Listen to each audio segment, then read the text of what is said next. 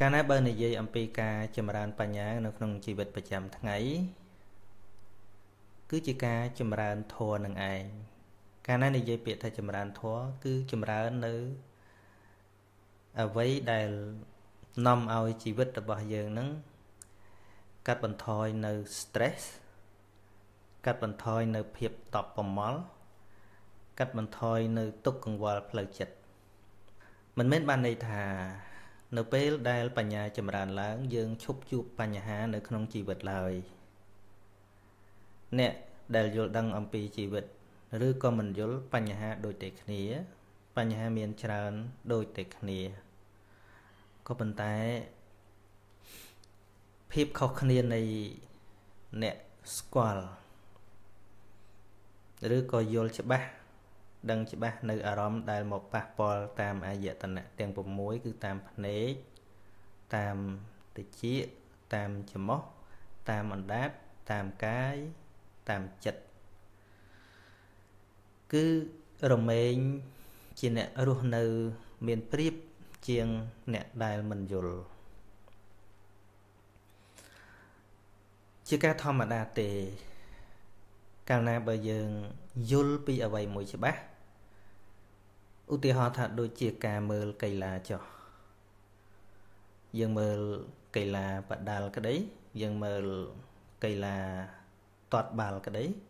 ពិសេសកីឡាទាត់បាល់ដែលវាជាបោកច្បល់មានគ្នាច្រើនបាល់បោះបាល់ទាត់អីហ្នឹងអ្នកដែលមិនយល់អំពីកតិកានៃការលេងកីឡា អ្នកមើលមិនសប្បាយឡើយមើលមិនរីករាយឡើយក៏ប៉ុន្តែចំពោះអ្នកយល់គេ មិនត្រឹមតែចូលចិត្តទេញៀនទៀតផងយ៉ាងណាមិញគ្រប់យ៉ាងនៅក្នុងជីវិតមិនខុសពីការលេងកីឡាម្យ៉ាងទៀតអ្នកទៅប្រកួតបើកាលណាអ្នកមានបំណងជាអ្នកកីឡាផ្លូវចិត្តរបស់អ្នកក៏ត្រូវតែរឹងប៉ឹងអ្នកត្រូវប្រឈមមុខនឹងលទ្ធផល3 ចាញ់ស្មើឈ្នះប៉ុន្តែក៏ត្រូវតែត្រៀមចិត្តទទួលលទ្ធផលចាញ់ផងដែរណាវាយចាញ់អោបគ្នាអីចឹងទៅអាហ្នឹងក្នុងចិត្តយ៉ាងម៉េចមិនដឹងទេប៉ុន្តែត្រូវតែទទួលស្គាល់ការពិតនៅក្នុងជីវិតដូចគ្នាចឹងដែរយើងមិនអាចល្អគ្រប់រឿងឡើយគ្មាននរណាម្នាក់ល្អគ្រប់រឿងឡើយ គ្មាននរណាម្នាក់ពូកែគ្រប់រឿងឡើយយើងសុទ្ធតែមានកម្រិតនៃការពូកែនៃភាពវៃឆ្លាតរបស់យើងក៏ប៉ុន្តែព្រះសម្មាសម្ពុទ្ធព្រះអង្គបានរកផ្លូវឃើញ សម្រាប់យើងទាំងអស់គ្នាថា អ្នកមិនចាំបាច់ពូកែគ្រប់រឿងទេ អ្នកអាចពូកែតែផ្នែកណានីមួយនៃជីវិតរបស់អ្នក ហើយអ្នកបំពេញឲ្យកើតជាប្រយោជន៍សម្រាប់ជីវិតរបស់អ្នកហើយនឹងអ្នករកផ្លូវដើម្បីថ្នាក់ថ្នមសុខភាពចិត្តរបស់អ្នកអញ្ចឹងណាអញ្ចឹងបានជានៅក្នុងប្រយោជន៍3ប្រការ ជាលំដាប់លំដោយពាក់ព័ន្ធនឹងប្រយោជន៍បច្ចុប្បន្នគឺការប្រកបមុខរបរដើម្បីរកថវិកាសម្រាប់ទំនុកបំរុងនៅក្នុងជីវិត អញ្ចឹងពាក់ព័ន្ធនឹង skill ពាក់ព័ន្ធនឹងចំណេះជំនាញគឺចាំបាច់យើងត្រូវមានក៏ប៉ុន្តែមិនចាំបាច់ល្អគ្រប់យ៉ាងឡើយអញ្ចឹងណាមិនចាំបាច់ល្អគ្រប់យ៉ាងឡើយអ្នកខាងពេទ្យក៏គេធ្វើការពេទ្យទៅ អ្នកខាងពាណិជ្ជកម្ម business អីក៏គេធ្វើតាមនឹងទៅមិនចាំបាច់ធ្វើការងារគ្រប់យ៉ាងឡើយតែជំរុញ ឯកទេសរបស់អ្នកឲ្យបានល្អដើម្បីជោគជ័យនៅក្នុងការងារនោះ ក្រៅពីជោគជ័យនៅក្នុងការងារនោះហើយចិញ្ចឹមជីវិតបានហើយ អ្នកត្រូវដឹងថាអ្នកនៅតែមានសេចក្តីទុក្ខក្នុងចិត្តចឹងតថាគតតថាគតនឹងអានិយាយជំនួសព្រះអង្គទេមានផ្លូវសម្រាប់អ្នកជាបន្តទៅទៀតពីព្រោះសេចក្តីទុក្ខផ្លូវចិត្តរបស់អ្នកមិនជាប់ត្រឹមអ្នកជោគជ័យក្នុងការងារ មិនបញ្ចប់ត្រឹមអ្នកបានលុយកាក់មាសប្រាក់ច្រើនឡើយសេចក្តីទុក្ខរវាងអ្នកមានឬអ្នកក្រ មានដូចគ្នាខុសគ្នាតែកម្មវត្ថុខុសគ្នាតែអារម្មណ៍ខុសគ្នាតែរបៀបរឿងនៃការកើតឡើងមើលសារឡើងវិញនៅវីដេអូលើកមុនដែលទៅផ្ទះញោមម្នាក់ផ្ទះគាត់ធំអញ្ចឹងទៅគាត់បានរៀបរាប់ហើយគាត់ថាបើនិយាយពីផ្ទះក៏មានធំ គ្រួសារក៏ល្អកូនក៏មិនជាបញ្ហាអីទេ តែក្នុងចិត្តនឹងវានៅតែគិតថាធ្វើមិនត្រូវផ្ទះធ្វើធំមែនប៉ុន្តែដូចជាមិនតន់ត្រូវចិត្តវាដូចជានៅតែខ្វះនេះវានៅតែខ្វះនោះថាឲ្យមានសេចក្តីសុខពិតប្រកបនោះมันមានឡើយអញ្ចឹងជាការបង្ហាញថាសេចក្តីទុកផ្លូវចិត្តតោមណោះចង្អៀតចង្អល់ stress អប់សុកក្នុងចិត្ត មានគ្រប់គ្នា មានគ្រប់គ្នា អ្នករីរ៉ូស៊ីធំធំ មានបញ្ហាក៏ធំធំជំពាក់គេក៏ធំធំ យើងអ្នកក្រធម្មតាជាពាក់គេ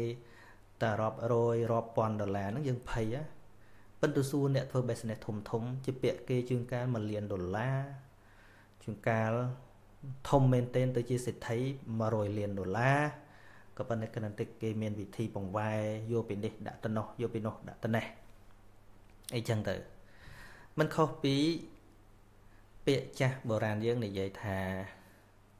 ទូកតូចក្តោងតូចទូកធំក្តោងធំណាឬជាការឧបមាមួយទៀត កាលយើងកើតមកពីតូចខ្លួនយើងតែប្រហែលជាអាមឯងដូចជា2ជាអាមឯប៉ុណ្ណឹងទេកណាត់តែប៉ិនបាតដៃយើងគ្របខ្លួនចិត្តកន្លែងគេខ្មាស់ហើយឬក៏ថាកណាត់តែ2ជាអាមហ្នឹងគ្របតាំងពីក្បាលដល់ចុងជើង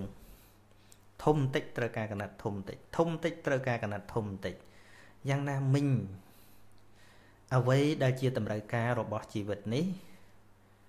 តូចតាមតូចធំតាមធំទុកកង្វល់នឹងដូចគ្នា ណាយើងអ្នកក្រជួនកាលបាននរណាឲ្យតែ10ដុល្លារហ្នឹងយើងអ100ដុល្លារហ្នឹងយើងអដល់តែមានបន្តិចទៅគាត់បានតែ100 200គាត់ឈប់ចេះអបាត់មិនមែនមិនសំខាន់ទេប៉ុន្តែចិត្តហ្នឹងវាលែងអវារស់សុខជាមួយនឹង100ដែលបានមកហ្នឹងវាលែងបាននោះវាទល់ដល់ថ្នាក់ពាន់វាទល់ដល់ថ្នាក់ម៉ឺនវាទល់ទៅដល់ថ្នាក់លាននោះបានអាចរំភើបចិត្តបានអញ្ចឹងណា សរុបមកគឺនៅតែត្រូវការដូចគ្នាឥឡូវនិយាយអំពីបញ្ហាដែលវាកើតឡើងនៅក្នុងជីវិតក្រោយពេលដែលយើងមានមុខរបរចិញ្ចឹមជីវិតហើយលុយកាក់ចាយហើយហ្នឹងចង់និយាយទៅហ្នឹងថាអ្នកដែលកំពុងតែខ្វះខាតខ្លាំងអីអាហ្នឹងយើងត្រូវបន្ថែមចំណេះជំនាញឬក៏ការសេពគប់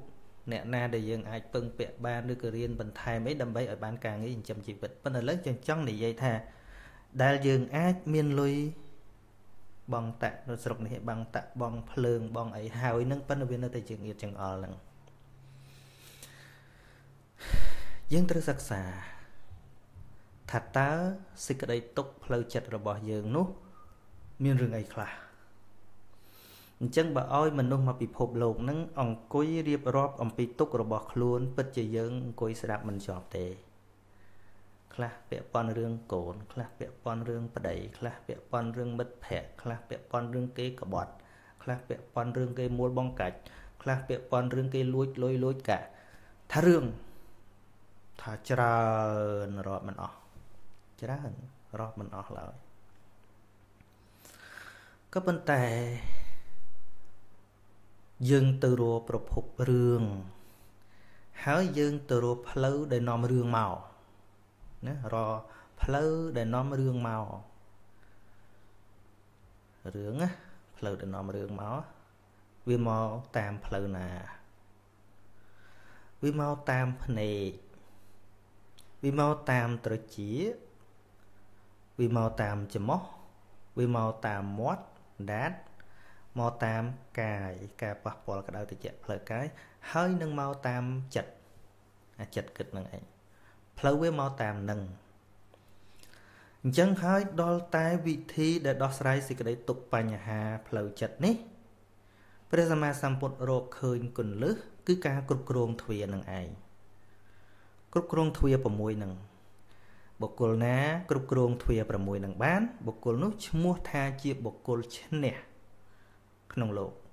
ឈ្នះហើយមិនមានពីរវេរាឡើយនៅក្នុងគាថា មួយដែលពាក់ព័ន្ធនឹងនាងមាននាគមានវិការនាងកូននេះកូនកមុំនេះសាក់សួរថាតើបុគ្គលដូចម្ដេចដែលឈ្មោះថាព្រះរាជាធំកឹងសុអធិបតីរាជា បុគ្គលដូចម្ដេចដែលឈ្មោះថាជាអធព្រះរាជាធំព្រះរាជាហើយជាអធិបតីទីព្រះរាជាហ្នឹងកឹងសុរាជារាជាសេរោ ព្រះរាជាដូចម្ដេចដែលឈ្មោះថាមានធូលីទៅប្រះហើយមានន័យថាក្បាលហ្នឹងមិនប្រឡាក់ធូលីទៀតទេប៉ុណ្ណឹងជាដើមគ្មានអ្នកណាឆ្លើយត្រូវទេ ខ្លះទៅឆ្លើយថាស្ដេចដែលមានអំណាច មានកងទ័ពមានពលសេនាស្ដេចចក្រថាជាបុគ្គលជាអធិបតីជាពរាជាធំខុសទាំងអស់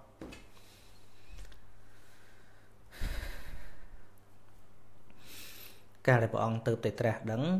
ជួបបរោះម្នាក់តាមផ្លូវបរោះហ្នឹងទៅច្រៀងប្រឡងចម្រៀងហ្នឹងដែរសង្ស័យថាអាយ៉ៃតាំងពីនឹងកើតច្រៀងឆ្លើយឆ្លងសួរដំណើរតំណងទៅបរោះអ្នកឯងទៅណាខ្ញុំកណាខ្ញុំព្រះអង្គទៅច្រៀងឆ្លើយប្រស្នាកូនកមុំនេះក្រែងលោបានជាប់ក្រែងបានយករៀងធ្វើប្រពន្ធ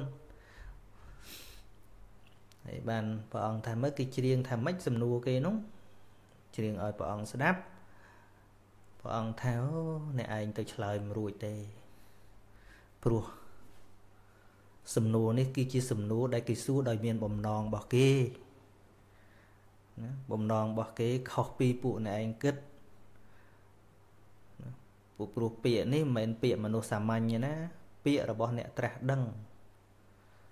ស្ដេចនាគហ្នឹងគាត់ធ្លាប់បួសកាលពីសម័យពពុទ្ធមុននោះគាត់ចាំចឹងក្រៅពីពពុទ្ធរួមឃើញទេចម្លើយហ្នឹងមកបើអ្នកឯងចង់ប្រឡងជាប់តថាគតបង្រៀនចម្រៀងហ្នឹងព្រះអង្គបង្រៀនបាននាងសួរថាកឹងសុអធិបតីរាជាបុគ្គលដូចម្ដេចដែលឈ្មោះថាពរាជាធំចម្លើយនោះពិតប្រកបនោះគឺ ឆាត់ទ្វារាធិបតីរាជា បុគ្គលអ្នកគ្រប់គ្រង ជាអធិបតីលើទ្វាទាំង6បាន បុគ្គលនោះឈ្មោះថាព្រះរាជាធំណាគ្រប់គ្រងទ្វា6ហ្នឹងទ្វាភ្នែកទ្វាតិចច្មោះ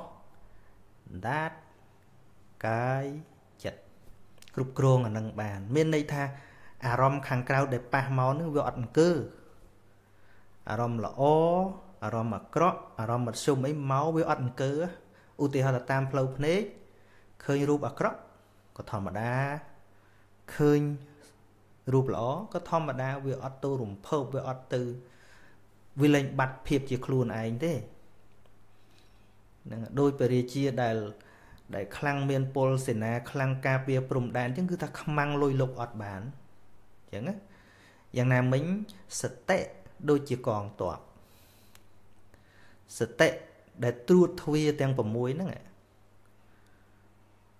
តាមរយៈភ្នែកឃើញកាយវិការសំរុំមិនសំរុំក្តី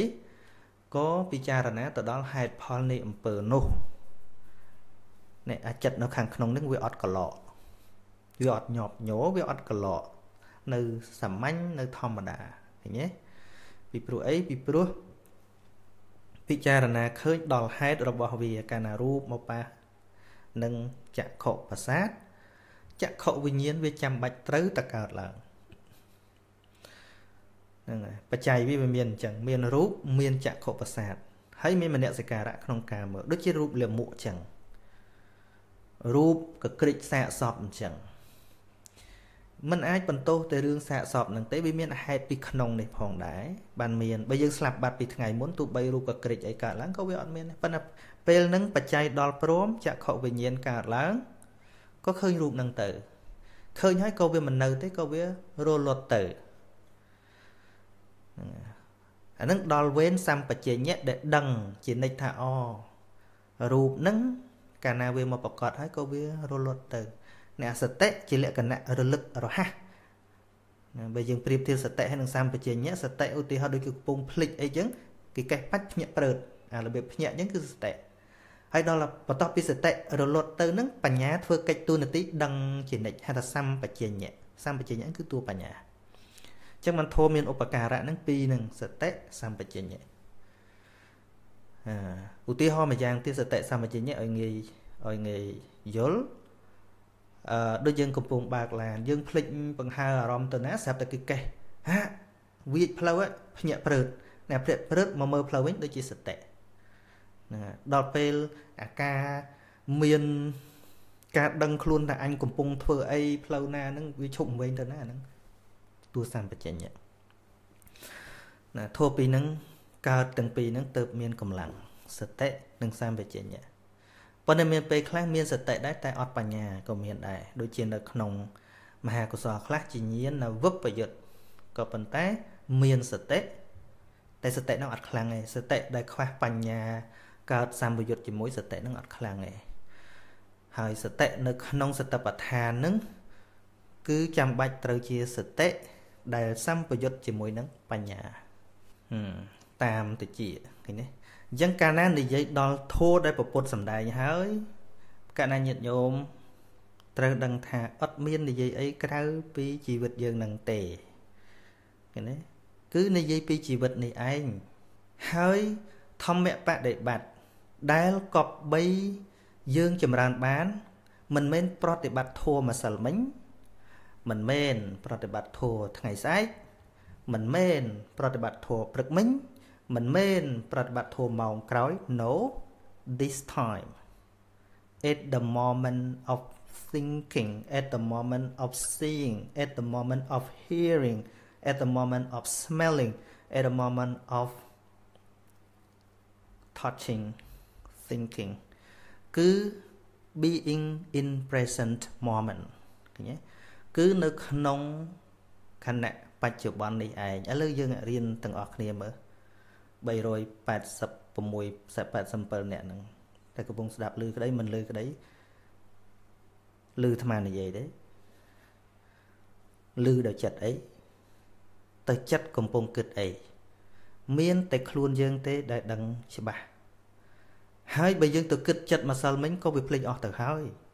ហើយបើយើងចង់ទៅគិតចិត្តថ្ងៃស្អែកក៏មិនដឹងថាចិត្តអីកើតឡើងដែរដែលយើងអាចដឹងថាចិត្តអីកំពុងប្រកប គឺមានតែពេលនឹងឯងពេលនឹងឯងពេលនឹងឯងមិនមែនពេលណាទេ គឺពេលនឹងឯងអារម្មណ៍របស់សតបដ្ឋានវិបស្សនា គឺជាបច្ចុប្បន្នអារម្មណ៍គឺជាអវ័យដែលកំពុងប្រកាសមកដល់ជីវិតនេះឯងអញ្ចឹងបានថាយើងឈប់និយាយពាក្យថាសិក្សាធម៌ក៏បានដែរធម៌ដូចវាឆ្វេងឆ្ងាយណាថាសិក្សាពីជីវិតយើង ការសិក្សាធម៌នោះមានន័យថាសិក្សាពីជីវិតយើង ការចម្រើនធម៌នោះមានន័យថាចម្រើនសតិស្មារតីនៅក្នុងជីវិតប្រចាំថ្ងៃធ្វើឲ្យមានភាពរហ័សនៃសតិសម្បជញ្ញៈរបស់យើងជួនកាលការមិនយល់អត្តន័យនៃពាក្យថាយល់ពីធម៌និងយល់ពីជីវិតយល់ពីការបដិបត្តិធម៌និងបដិបត្តិចម្រើនផ្លូវចិត្តរបស់យើងនឹងធ្វើឲ្យយើងឃ្លាតឆ្ងាយអំពីមេគាដែលព្រះសម្មាសម្ពុទ្ធព្រះអង្គសម្ដែង មកពីចេះតែគិតតែធัวនឹងវាអត់បានជួយអីក្នុងជីវិតធាតពិតអ្នកយល់ទាំងឡាយអ្នកដែលដើរតាមមាគានេះមិនត្រឹមតែយល់ហើយហើយទៅទេ ហើយបើនិយាយពីអ្នកដែលយល់បដិបត្តិត្រូវហើយបើនិយាយពី appreciate អរគុណចំពោះពុទ្ធវិញ អ្នកមិនយល់គាត់មិនដឹងថាតើការ បញ្ចេញនៅភាពកតញ្ញូចំពោះពុទ្ធនឹងក្នុងលក្ខណៈបែបម៉េចនោះទេ ហើយបានជាខ្ញុំកណាអាត្មាចេះតែនិយាយថា អ្នកមិនអាចអរគុណប្រពុតត្រូវទេដល់រាបណាអ្នកមិនទាន់យល់មាគាដែលប្រពុតបង្រៀនដែលប្រពុតសំដែងអ្នកក៏មិនអាចថ្វាយបង្គំព្រះសម្មាសម្ពុទ្ធចំទិសដៅដែរ ពីព្រោះអ្នកមិនតាន់បានទទួលប្រយោជន៍អ្វីសូម្បីបន្តិចអំពីព្រះពុទ្ធសាសនាចឹងណាវាអត់មានអីទៅបន្ទោសពួកគាត់ដែរពីព្រោះតែគាត់មិនយល់ជាធម្មតាបើកាលណាមនុស្សយល់ការពិតហើយទៅណាទៅចង់ធ្វើអាខ្សែកថាក៏ដោយស្រោចទឹកក៏ដោយសិតតែអស់ពេលវេលាសិតតែអស់លុយហើយអស់ពេលវេលាក៏ប៉ុន្តែគាត់កំពុងតែគិតថាអានឹងវាមានសារៈប្រយោជន៍ ហើយសួរថាកុំអោយគាត់ធ្វើអញ្ចឹងហាមបានថាអត់ទេពីព្រោះគាត់ជឿថាវាអញ្ចឹងប៉ុន្តែបើយើងមកសិក្សាពីជីវិតមែនមែនមែនមែនមែនមែនមែនមែនរាល់ថ្ងៃនេះ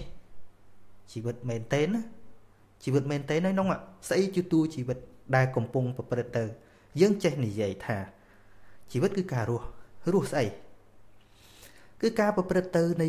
ចក្ខុវិញ្ញាណដែលកំពុងឃើញ ការប្រព្រឹត្តទៅនៃការឮការប្រព្រឹត្តទៅនៃការធំក្លិនការប្រព្រឹត្តទៅនៃការដឹងរស់ ដឹងក្តៅតិចហើយនឹងវិថីចិត្តដែលវាកំពុងគិតនឹងឯងគឺជាតួជីវិតវាមានទាំងជីវិតន្ត្រីរូបហើយនឹងមានជីវិតន្ត្រីនាមមានតែជីវិតហ្នឹងវាមានតួរូបផងវាមានតួនាមធម៌ដែលមានតែឈ្មោះក៏ប៉ុន្តែវាមានសភាវៈដែលយើងមើលមិនឃើញតែគាត់ថាវាមានពិតប្រកបដែលវាវិវត្តទៅនៅក្នុងជីវិតប្រចាំថ្ងៃនេះឯងអញ្ចឹងសួរថាតើ ព្រះសម្មាសម្ពុទ្ធដែលយើងនមស្ការសពថ្ងៃនោះយើងនឹករឿងអីអាត្មាកំពុងតែអង្គុយមើលឲ្យតែឃើញញាតិញោមនមស្ការប្រតនត្រ័យអីចឹងសួរថាតើញាតិញោមនមស្ការរឿងអីយើងហៅទៅពុទ្ធគុណធម្មគុណសង្ឃគុណតើអរគុណរឿងអីជាធម្មតាទេពាក្យអរគុណវាទល់តែយើងទទួលអីល្អពីគេមកបានយើងហៅថា thank you អីចឹងទៅអឺខ្ញុំអរគុណណាស់ដែលលោកបានធ្វើអញ្ចឹងអញ្ចឹងអញ្ចឹង ចុះយើងទៅថ្វាយបង្គំព្រះសម្មាសម្ពុទ្ធសពថ្ងៃតើយើងអរគុណព្រះអង្គដោយវិធីណាបើយើងអត់តន់ទទួលបានអីបន្តិចផងឃើញតែខ្វះរហូតទៅដល់សុំគេនេះសុំសុំឲ្យខ្ញុំចេះសុំឲ្យខ្ញុំចុះមានន័យថាយើងអត់តន់បានអញ្ចឹងបានជាអរិយបុគ្គលទាំងឡាយលោកអត់សុំអីសោះសុំបីតែម្ដង អ្នកឃើញធัวអត់ដែលសុំអីពីពុទ្ធពធប្រសងសុំបីតែបន្តិច ក៏អត់ដែរអត់ហ្មងគឺមានតែចង់ធ្វើអ្វីដែលជាបដិការៈទៅវិញពីព្រោះអីពីព្រោះលោកបានពាល់ត្រូវនៅជីវិតនេះ តាមមេគារបស់ព្រះសម្មាសម្ពុទ្ធហើយមានតែការអរគុណព្រះអង្គថាគុំតែព្រះអង្គបើកផ្ងារបស់នឹងគុំតែព្រះអង្គបញ្យលប្រាប់ផ្លូវនឹងម្លោះអញហើយល្ងឹតឈឹងហ្មងវាមានតែអញ្ចឹងណាវាមានតែអញ្ចឹងអត់មានសុំអីទេអត់មានសុំអីទេ អញ្ចឹងញាតិញោមប្រកាសណាញាតិញោមទាំងអស់គ្នាទាំងខ្លួនឯងក្តីឬក៏ចង់វិនិច្ឆ័យថាអ្នកយល់មេគាពុទ្ធពិតប្រកបឬអត់ស្ដាប់តែពេលគាត់ថ្វាយអង្គមព្រះទៅដឹងបើគាត់នៅសុំមានន័យថាអត់យល់អាត្មាឧទាហរណ៍នឹងកូនដែលដឹងគុណម្ដាយឪពុកពិតប្រកបគឺជាកូនឈប់ទៀមទាអ្វីពីឪពុកម្ដាយទៀតហើយឧទាហរណ៍ថាពុកម្ដាយខំរកលុយរកកាក់ ដើម្បីឲ្យយើងសិក្សារៀនសូត្ររហូតដល់យើងបានចប់បណ្ឌិតអីបានការងារហើយពុកម្ដាយយើងណាគាត់រស់ស៊ីរត់លម៉កឬក៏គាត់លក់តកួនឬក៏លក់ត្រីឬក៏ធ្វើនេះធ្វើនោះហើយមិនដែលទាំងបានខោអាវថ្មីស្លៀកទៅប៉ុនអីឲ្យស្រួលគេផងប៉ុន្តែសន្សំលុយបានកូនរៀនរហូតដល់កូនរៀនចប់ណែដល់ពេលយើងមកធ្វើការ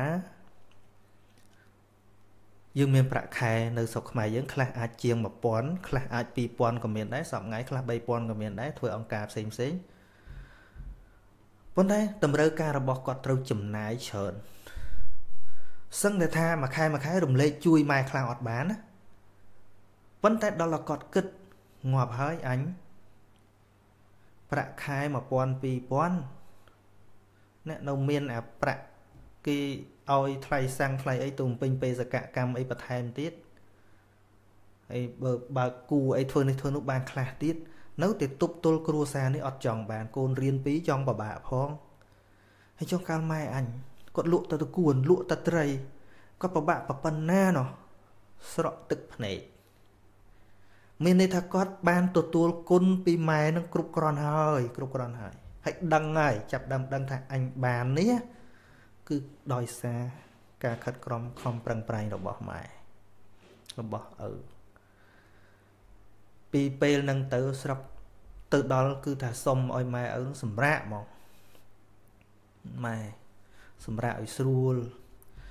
កុំធ្វើអីទៀតអីចឹងទៅណាកូនអ្នកតនីរ៉ាប់រងអីចេះចោះកូនដឹងពិតប្រកបរបៀបនេះឯងអាហ្នឹងបានគេហៅថាដឹងគុណមែន ដឹងគុណមែនណាហ្នឹងដឹងមែនអង្គុយទៅនឹកឃើញហ្មងនឹកឃើញនឹកឃើញថាអូម្ដាយឪពុកអញហ្នឹងគាត់លំបាកគ្រប់គ្រាន់ហើយហើយដល់ពេលទៅទៅគាត់នឹងលួបយកអាកញ្ចប់មាសបន្ទីគាត់សំនៅម៉ែទុកឲ្យកូនស្រក់ទឹកភ្នែកទៀតម៉ែអត់ដែរហ៊ានហូបអីគាត់សំមាសបានមួយជីពីរជីទុកធ្វើអញ្ជៀនឲ្យពេលកូនកាអីណានេះអ្វីមកអាត្មាដឹងញោមអាត្មាហ្នឹងធ្វើចឹង គាត់អត់មានអត់មានអត់មានគាត់គាត់មានជានត្រាទុកឲ្យអាត្មាមានខ្សែគាត់ទុកយូរហើយមិនឥឡូវនេះទេ10ឆ្នាំមកជិត20ឆ្នាំហ្នឹងកាក់ល្អិតគាត់គាត់សំហើយអត់ដឹងណាដល់គាត់បង្ហាញមិនដឹងថាហើយគាត់ធ្វើឡើងជិត20ឆ្នាំហើយហ្នឹងសំតិចតិចតិចតិចទុកឲ្យកូនប្រុសអញហើយដល់ឃើញអញ្ចឹងវាអត់ទាំងចង់បានណាវាសំណោះទឹកចិត្តគាត់ ហ្នឹងហើយដល់អញ្ចឹងមានអីមានព្រោះវិធីណាធ្វើឲ្យគាត់សុខសប្បាយទៅវិញ មានតែបដិការៈមានតែចង់ធ្វើអីឲ្យគាត់បានសុខបានសប្បាយសម្រាប់ជីវិតគាត់ពេលចាស់ឈប់សុំអីម៉ែសុំបន្តិចសុំអត់អត់ទៅសុំអីទៀតទេទៅជួបម៉ែនឹងចង់ឲ្យតែម៉ែសុខម៉ែសប្បាយម៉ែពិសាឲ្យបានម៉ែសម្រាប់ឲ្យស្រួលលក្ខណៈដឹងគុណចឹងអ្នកណាហើយ ដែលទៅថ្វាយបង្គំពពុទ្ធនឹងចង់បានអីវាស្មើនឹងកូនអត់ដឹងហ្នឹងប្រៀបមកកូនវិញប្រៀបមកកូនវិញឲ្យទៅជួបម៉ែម៉ែសុំនេះសុំនោះដីនឹងទុកឲ្យអាណាទុកឲ្យខ្ញុំនោះម៉ូតូទុកឲ្យអាណាទុកឲ្យអូនឲ្យទុកឲ្យខ្ញុំឃើញទេគឺទៅសម្លឹងអីពីម៉ែមកទៀតទៅសុំមកទៀតម៉ែចែកមិនស្រួលខឹងម៉ែទៀតកូនតែតាខ្ញុំកូនតែតាឃើញទេខ្ញុំកូនតែតា មិនក៏ឲ្យអនុច្រើនជាងខ្ញុំអត់បានអីអាខ្លួនឯងមានផ្ទះនៅហើយហ្នឹងណាខ្លួនឯងមានការងារហើយខ្លួនឯងមានផ្ទះនៅហើយហ្នឹងគ្រាន់តែគាត់ឃើញកូននោះវាកំសត់ជាងគេគាត់ឲ្យនឹងច្រើនជាងគេខឹងទៀតកូនច្រើនណាស់មានលក្ខណៈអញ្ចឹង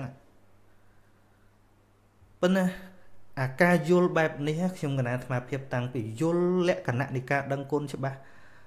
តាំងពីយូរមកម៉េះសម្រាប់ចិត្តថាម៉ែឲ្យគ្រប់គ្រាន់ហើយ គាត់ឲ្យក្តីស្រឡាញ់គាត់មិនមានអីឲ្យច្រើន ជាឡានជាម៉ូតូជាអីមែនប៉ុន្តែក្តីស្រឡាញ់របស់គាត់ឲ្យយើងពេញហ្មងជាង20ឆ្នាំហើយសម្រាប់ចិត្តថាមិនចង់បានមរតកអីពីម៉ែឪហើយមានតែចង់ធ្វើយ៉ាងម៉េចឲ្យគាត់សុខសប្បាយវិញឃើញទេអញ្ចឹងគាត់ឲ្យកូនណាឲ្យទៅអត់ពិបាកចិត្តសោះយើងប្រឹងតែធ្វើអ្វីដែលថ្មីសម្រាប់ខ្លួនឯង សម្រាប់ផ្លូវយើងទៅមុខអត់ទៅសង្ឃឹមដីស្រែនោះទេអត់ទេនឹងបើយើងប្រៀបធៀបជាកូនដឹងគុណគឺមានលក្ខណៈអញ្ចឹងអត់មានទៅដដើមគេអកទីទេអត់សោះអត់សោះបើគាត់ឲ្យយើងយកក៏យកទៅថ្មមិនថាអីទេប៉ុន្តែទៅនិបណៈគាត់ទៅជូនភ្ជុំទៅអានេបអាដើបអីដើម្បីឲ្យគាត់ឲ្យអាស្អីហ្នឹងមិនដឹងគុណទេអាហ្នឹងហៅហត់ទឹកសម្លឹងកាយ៉ាងណាមិញយើងទៅថ្វាយបង្គំពពុទ្ធរាល់ថ្ងៃហ្នឹងទៅសុំអីហ្នឹង អូសូមឲ្យខ្ញុំព្រះអង្គសុខសប្បាយអីចុះអត់សន់សុខទេពុទ្ធប្រាប់អស់ហើយហ្នឹងឲ្យអស់អាលីងហើយហ្នឹងឲ្យអស់អាលីង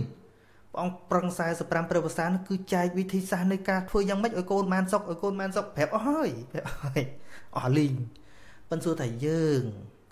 ដែលយកវិធីហ្នឹងមកជជែកគ្នាទេ ដែលយកវិធីវឹកហាត់ផ្លូវចិត្តនឹងមកជជែកគ្នាទេ ដែលប្រពុតឲ្យហ្នឹងយើងយកមកប្រើទេ ឬក៏នៅតែបិទវាទុកឲ្យសុំសុកយកតែមងកំណប់ហ្នឹងឧទាហរណ៍ថាពុកម្ដាយនឹងឲ្យទាំងដុលមកហើយមាសប្រាក់ប្រមាណប៉ុន្មានឲ្យនៅហើយឬក៏យើងកប់ទុកឲ្យគិតតែអង្គុយបន់ទៅអញ្ចឹងរងថ្ងៃអញ្ចឹងអញ្ចឹងហើយបានជា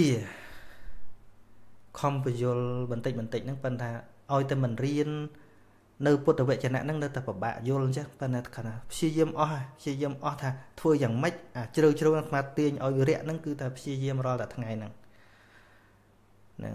ហើយសាកមើលទៅពិចារណាឲ្យយល់ហើយយកមកដាក់ក្នុងជីវិតយើងមែនមែនមែនមែនយូរយូរយូរយូរអាជំនឿរពេជំនឿអីផ្សេងផ្សេងផ្សេងផ្សេងជារឿងគួរឲ្យអស់សំណើចជារឿងដែលដែលដែលយើងក៏លេចមើល ហើយបើសិនជីវិតយើងចូលទៅក្នុងអញ្ចឹងវិញយើងមិនដឹងគិតថាម៉េចណាចឹងមិនមុននឹងអឺមុននឹងខ្សែធនហ្នឹងអាត្មាបើក Facebook សម្រាប់នេះបើវាលោតមកជាលោតមកឃើញគេ share គេអីមកឃើញរំឡើងអ្នកតារំថ្វាយអ្នកតាភ្លៀងភ្លេងអរិយវារំតត្រិតតត្រើតខ្មោចចូលតត្រិតតត្រើតមិនថាទាំងអញអញកើតនៅកន្លែងហ្នឹងដែរតា ហើយបើមិនបានពន្លឺធោព្រះអង្គទេអញបែបទៅត្រិតតត្រើតអញ្ចឹងដែរហើយអញ្ចឹងបានយល់បតីព្រះអរហន្តព្រះអរហន្តលោកជួបអារឿងចម្លែកចម្លែកលោកអញឹមលោកញឹមលោកអត់ទៅតេះដៀលលោកអត់ទៅខឹងលោកអត់ទៅអីទេលោកញឹមឃើញគេធ្វើខុសខ្លាំងឃើញគេធ្លាក់នរកឬក៏ឃើញរឿងអស់ចាខ្លាំងអីហ្នឹងលោកញឹមហិហសិតុបាតិចិត្តណាអ្នករៀនអភិធម្មដឹង អញ្ចឹងរឿងអាក្រក់ប៉ុណ្ណាក៏ដោយក៏ព្រះអរហន្តលោកញញឹមដែរឃើញសត្វនរកអញ្ចឹងលោកញឹមមិនមែនទៅភ័យខ្លាចមិនមែនទៅស្អីទេអត់ទេញឹមទៅញឹមនឹងដោយហេតុអីញញឹមថាណែអំពើដែលនាំខ្លួនមកដល់អសភាពអញ្ចឹងអញ្ចឹងអញបានកុំចាត់បងអស់ហើយរួចហើយឃើញគេធ្វើខុសខ្លាំងរហូតដល់ទៅសម្លាប់មនុស្សខូចដល់ទៅធ្វើចោល ឬក៏ទៅធ្វើអពើអីអាក្រក់ក្រក់លុញញឹមទៀតអាញឹមហ្នឹងញឹមថាអំពើអាក្រក់អាក្រីបែបនេះអញរួចផុតហើយគ្មានឱកាសវិលមកធ្វើកក្រិចអញ្ចឹងទៀតទេអញ្ចឹងដែលលោកញញឹមនឹងញឹមដោយសោមនស្សហសិតុបាទចិត្តនឹងអញ្ចឹង